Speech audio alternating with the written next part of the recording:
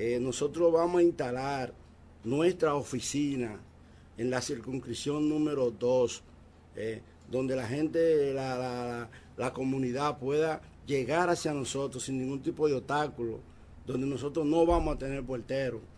Eh, la puerta nosotros va a estar abierta, no solamente para los PRMistas, sino para la comunidad porque nosotros no vamos a ser un regidor específicamente para un sector, no, nosotros vamos a ser un regidor para toda y cada una de las personas, sin importar, sin importar a qué partido usted esté militando. Algo muy interesante. Entonces, para los municipios de la circunscripción número 2, ¿qué, propuesta usted le tiene a, a estos jóvenes que, que va a calar en la parte deportiva?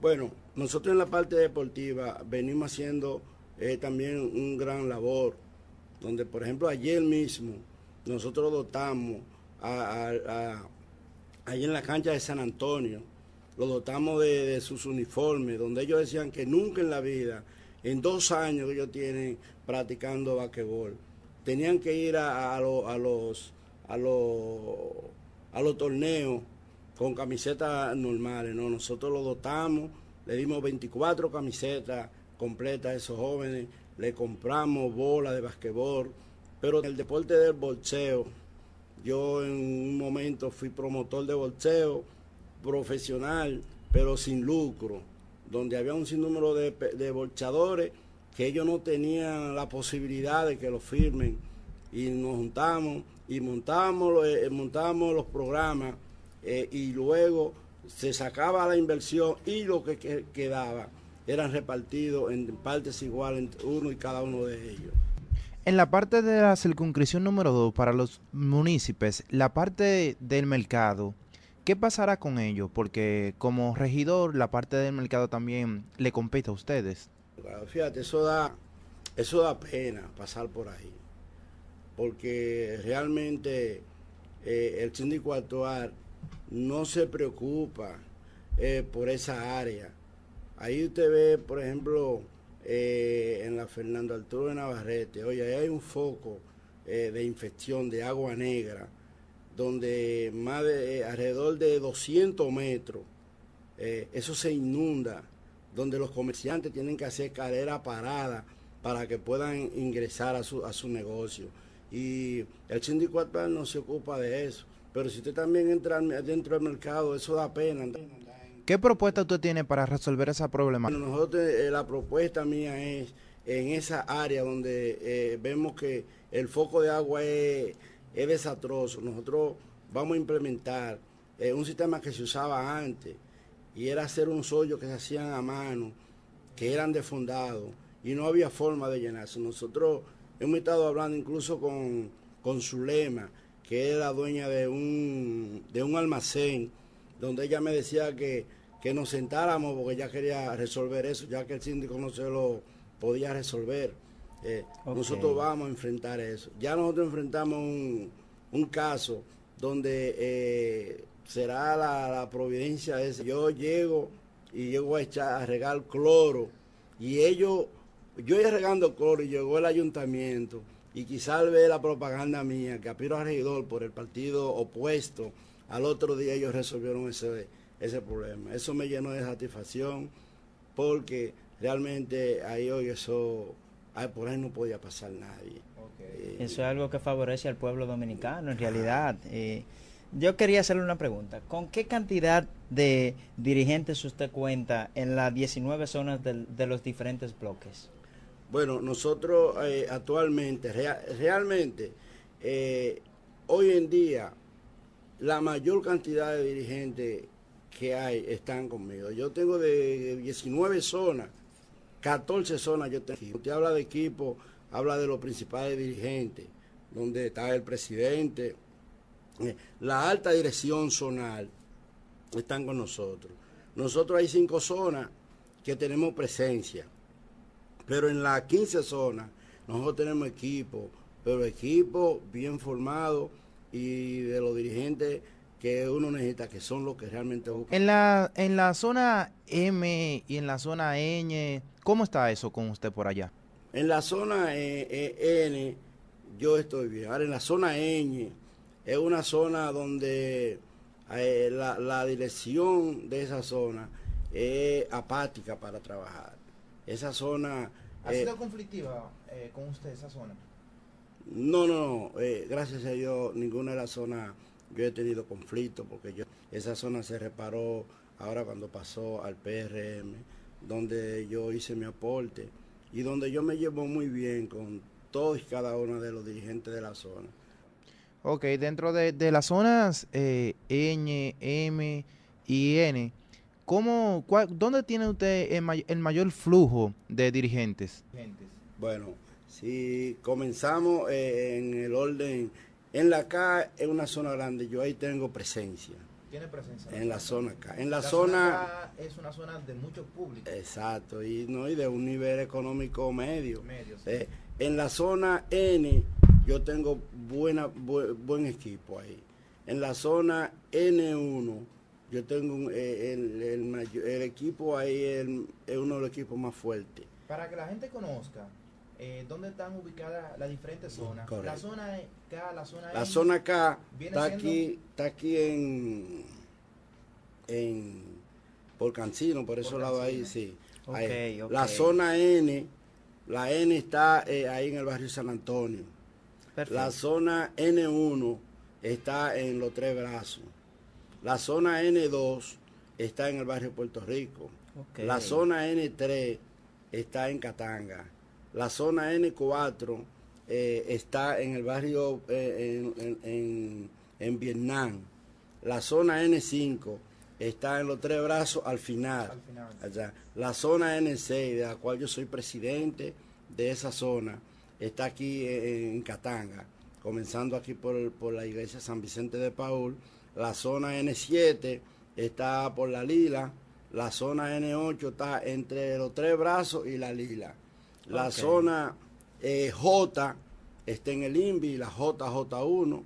La, la zona Ñ está aquí en Santo Domingo, o en, en Santo Domingo Norte, es en la, en la Marco de Rosario. Marco de Rosario. Exacto, Casi con 17. exacto, con 17 D por ahí. Ajá. La zona Ñ1 está por el Liceo Ramón Emilio, la Ñ1. La Ñ2 está en la Marco de Rosario, al final. La zona Ñ, Ñ3 está aquí en Pidoca. La zona Ñ4 está por donde dicen, eh, por aquí por, los por los barrancones. Por los La barrancones. zona, sí. Entonces, la zona Ñ5 también está en, el- por el Liceo Ramón Emilio, que incluso la votación son todas. Y la zona Ñ6 está donde le dicen eh, Lom- Lomina Viejo. Lomina Esa, Viejo. esa es la zona. Ok. Eso para que vea la gente que Y es hablando- un regidor que tiene conocimiento de las zonas donde él tiene foco de público. Correcto. Exactamente, exactamente. Y hablando de votaciones, en el proceso de elección interna del PRM, ¿cómo está usted posicionado? Fíjate, eh, según las encuestas, mi, mi candidatura está eh, eh, en primer lugar. En todas las encuestas que se han hecho, hacia lo interno y hacia afuera, todas, todas yo he salido en primer lugar. Incluso los 19 aspirantes que, que habemos, entre ellos ahí está de la juventud, entre ellos está la mujer, que ahora este proceso ha sido lo nunca visto en el partido, porque antes se votaba por una tripleta, que era el mayor, la juventud y la mujer. Hoy en día hay que votar solamente por uno. No se puede votar por la... Si usted vota por la mujer, no puede votar por la, por la juventud, ni puede votar por los adultos donde en esta convención tampoco va a participar la, la- alcaldía, ya que va a ser por encuesta, eh, y los diputados también va a ser por encuesta. Nunca se había visto una convención solamente para los regidores. Hoy en día la tenemos y estamos esperando, porque sabemos que nosotros vamos a ser regidor, porque ya en su momento lo fuimos y el presidente del PRD actual, en aquel tiempo eh, que militábamos en ese partido, yo fui regidor por, por alrededor de 48 horas, de cual él me despojó bajando una circular y me despojó y se lo dio a otro compañero. Primero gané con voto, me la quitaron y luego un grupo de presidentes, de, de 19 presidentes, y en ese entonces Tonti Rutiner, eh, eh, me, me, me, me cargó. Él era el- el precandidato y vio la injusticia y se le mandó una comunicación a- al presidente del partido, Miguel Vargas Maldonado, el cual él lo aceptó y a las 24 horas yo salí por todos los medios de comunicación como regidor. Sí. Y luego me despejó para dárselo a una gente de su entorno. Ay, ay, Pero ay. esta vez nosotros estamos seguros que lo vamos a hacer porque ya en este partido realmente no hay comerciantes, hay hombres que piensan en los destinos de este gran país. En la parte de, de- en la parte política, ¿cómo están los equipos que lo están respaldando? ¿Cómo usted está, eh, cómo tienen estructurado su equipo usted? Pues nosotros lo tenemos por zona. Eh, en cada zona nosotros formamos un equipo eh, de 15 que son los que van a hacer el trabajo por cada una de las zonas. Cada zona tenemos 15 personas que son las que hacen el trabajo de buscar los votos, de hacer las reuniones. Por ejemplo, yo tengo un programa ahora que lo vamos a hacer por bloque para nosotros buscar lo- los delegados, los posibles delegados, los funcionarios de mesa. Y estamos bien, bien aposicionados, a tal, a tal forma que los aspirantes todos dicen, yo sé que tú vas a ser regidor, pero yo también lo voy a hacer. No, eso es así. En O la parte política, entonces, usted está bien posicionado. En la parte política con la juventud, ¿cómo usted ha conectado con ellos? Bueno, fíjate, eh, el fuerte mío está ahí. El fuerte mío está ahí porque yo siempre me he ocupado por la juventud. es el futuro del país. Nosotros hicimos una asamblea de juventud que en este municipio nadie lo había hecho.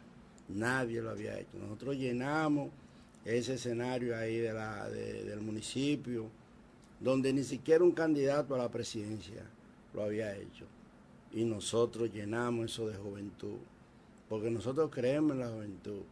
Y nuestro propósito es, es ayudar a la juventud, porque es el futuro del país. En este país, si los políticos se ocuparan de la juventud, eh, otro gallo cantaría. Claro, Pero la claro. juventud hoy en día se siente eh, solitaria, donde no tiene ningún tipo de ayuda. Eh, y nosotros como PRM, y yo principalmente, que en mi área, yo soy presidente de una región, pero soy el coordinador de Luis Abinader en esa región.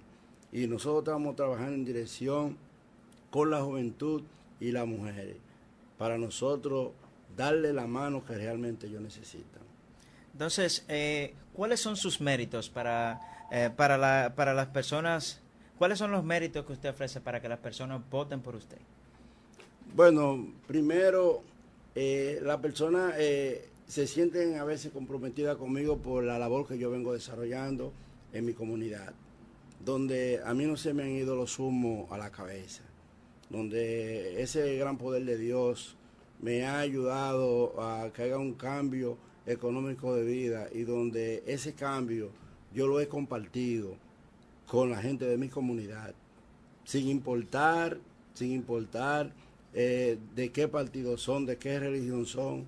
Nosotros solidario. eh, lo hemos lo hemos hecho y no solamente que nosotros lo digamos aquí en esta emisora, sino que cuando usted sale afuera se da cuenta. Nosotros hemos salido con Luis Abinader a la calle y él dice, pero, ah, pero ven acá, pues tú eres más popular que yo, porque la gente le quiere a los muchachitos, todo el mundo, Darío, Darío, porque yo realmente me siento parte de ellos. Y fue como yo le dije, lo que la- el cambio que Dios me ha ayudado a, me ha ayudado a dar económicamente ha sido por esa gente de mi comunidad y es por eso que yo comparto con mi comunidad ese progreso que yo he tenido donde vivo desde el 1960 y, y voy todos los días a mi barrio todos los días del mundo yo voy a mi barrio me siento con la gente comparto Muy importante me ponen, eso, la cua- me humildad. ponen cualquier problema, ahí lo estamos resolviendo.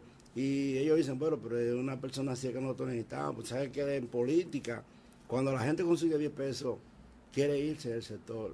Yo no, yo me he quedado en Catanga de los Minas. Apoyando me ese da, pueblo. Sí, no me da como hay gente cuando crecen en un barrio que trae que ese nombre en su momento era un hombre que la gente, a mí no me da, yo ese barrio le agradezco mientras vida tenga y lo voy a dar todo, no solamente por Catanga, sino por esa circunscripción y este municipio. Bueno, usted tiene la oportunidad en el momento de que sea electo como, como candidato a regidor de cambiarle la fachada al barrio, si es posible.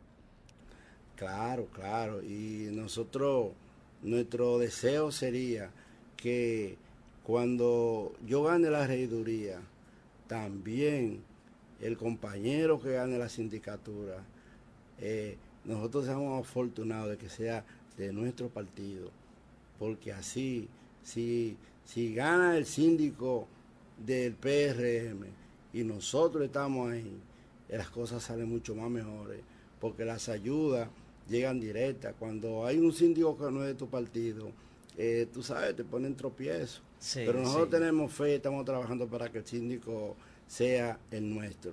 El que elija el, partido, nosotros lo apoyaremos para llevarlo hasta la sindicatura y que estrene ese gran ese edificio que están haciendo ahí. ¿Sí? ¿Y cuáles son las propuestas que tiene el PRM? Un partido que es moderno, como hemos estado escuchando sus palabras de, de las características, ¿cómo usted caracteriza a ese partido? ¿Cuál es, ¿Cuál es la propuesta que este partido le trae a este pueblo dominicano que ansia tanto ese cambio, esa democracia que actualmente no se está, no se está viendo? ¿Cuál es la propuesta que tiene el PRM y Luis Abinader para ese pueblo? Bueno, fíjate, lo principal que tiene este gran partido es la verdad decirle la verdad al pueblo. Cuando usted dice la verdad, es porque realmente usted quiere un bienestar. Si ustedes ven cómo Luis Abinader y ese conjunto de personalidades eh, empiezan a desglosar el depifarre que hay aquí, donde le preguntan que por, de dónde él va a sacar ese dinero de, lo, de pagar los 500 dólares, y solamente en tres renglones se van en ese pago de los 500 dólares, se van 22 mil millones de pesos. Y en tres renglones hay un excedente de 26 mil millones de pesos. Y donde, él, y donde él dice que el presupuesto nacional tiene una sobrevaluación de un 20%, que con eso se resuelve el problema de la salud, el problema de la educación, eh, y donde en todo todas, por ejemplo, las escuelas que se están haciendo, eh, en todo hay una sobrevaluación. Las aulas más caras del mundo se están haciendo en este gobierno, donde cada aula sale por más de 3 millones de pesos. Cada aula. Donde ustedes vieron que el, el hospital Darío Contreras se hizo un presupuesto de 800 millones y van 1.500 y todavía no lo han terminado. Donde ese ayuntamiento que ustedes ven ahí, el presupuesto era 286 millones y ya van 600 y pico de millones y todavía no lo han terminado. Y si usted busca todos esos renglones, si usted ve la planta del carbón, donde una, una compañía japonesa eh, la hacía en 900 y algo de millones, no se la dan para dársela a, a esta compañía que ha sido un desastre a nivel, a nivel mundial pero se la dan a ellos en dos mil y pico de millones. Pero también vemos la cédula. La cédula en la licitación, hubo una compañía que la hacía en 9 millones de dólares eh, y una compañía reconocida a nivel nacional, eh, con una alta eh, posibilidad de, de, credibilidad, no se la dieron y se la dan a una compañía. ¿Qué que propone Luis Abinadel para terminar esa corrupción que supuestamente usted ha planteado? Bueno, la propuesta es que tan pronto él llegue, todo el funcionario de su equipo que haga cualquier acto indebido será sometido a la justicia. Y nosotros tenemos una experiencia donde el compañero Hipólito Mejía, en su, en su gobierno, Hubo un funcionario que ustedes lo oyeron mentar, que no voy a mencionar el nombre, pero con un problema que hubo en la Charle, con un solar que, que vendieron a un precio bid. Fue sometido a la justicia, fue sometido a la justicia y metido preso. por eso. Pero en este gobierno, eh, el que es serio no funciona. Si ustedes eh, escucharon el gobierno de, de, Leonel Fernández Reyes, un gobierno, un, funcionario que denunció un acto de corrupción y fue cancelado a, a las 24 horas, lo cancelaron. Porque el PLD ha llegado para destruir totalmente este país, donde en los presupuestos solamente Hipólito Mejía en el, en el último presupuesto fue de 87 mil millones de pesos y el presupuesto de esta gente es más alto que si usted calcula desde Pedro Santana hasta ahora, eh, esta gente en un solo año han manejado más dinero que todos los presidentes que han pasado, donde el presupuesto del año pasado fue de 630 mil millones de pesos.